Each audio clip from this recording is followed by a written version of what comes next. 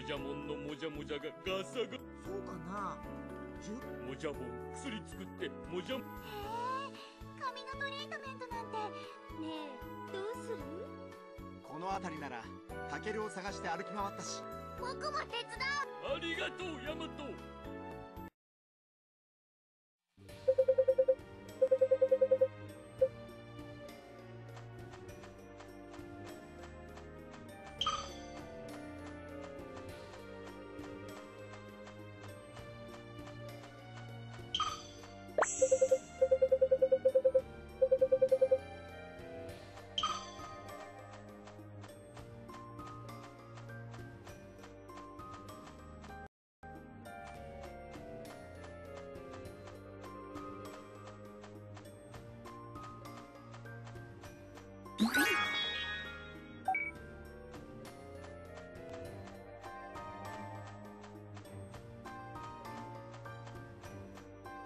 こ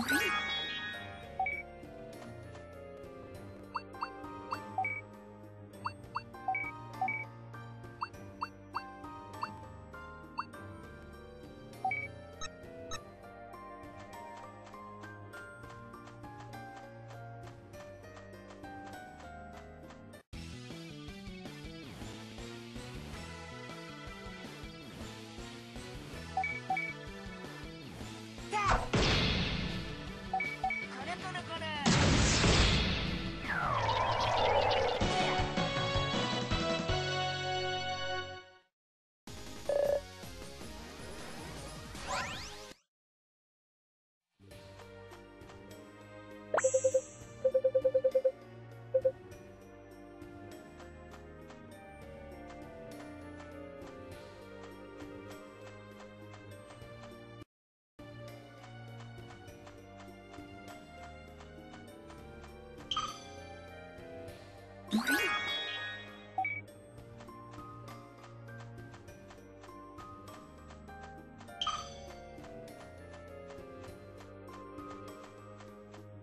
みん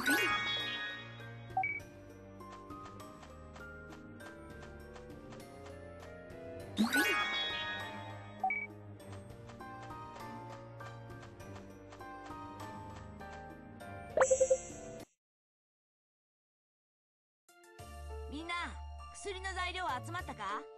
全然。とてもおかしいな。俺が前に来た時は。誰かがここを歩き回った形跡がありますし全部持って行っちゃったってこと？あとをたどっていけば追いつけ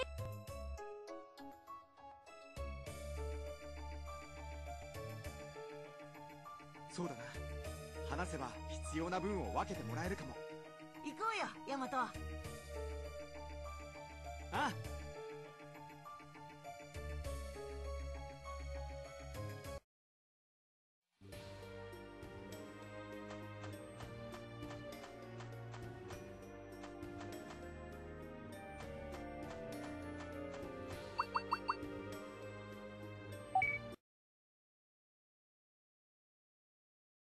奥にデジモンがいるよ。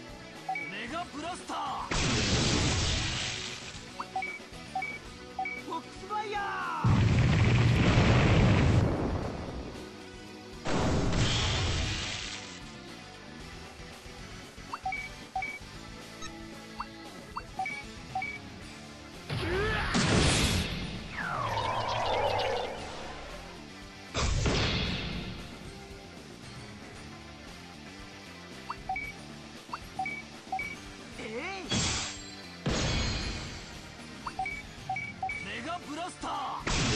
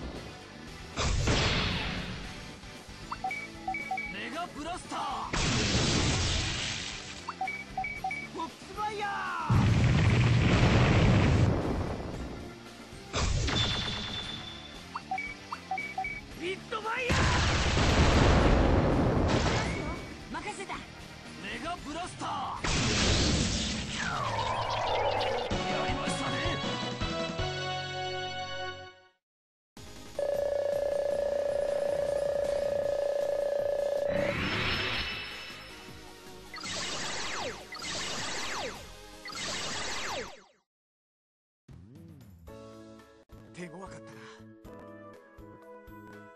しばらく経てば元に戻らーこれ。薬の材料を食べて凶暴化したみたい。手つかずの材料も十分ある。それにしてもなぜ彼らも材料を集めてたのでしょう。きっとモジャモンみたいにツヤツヤになりたかったのよ世話になったな。ありがとうモジャモン。ツヤツヤのもじゃもじゃになったら教えて。楽しみにしといてくれ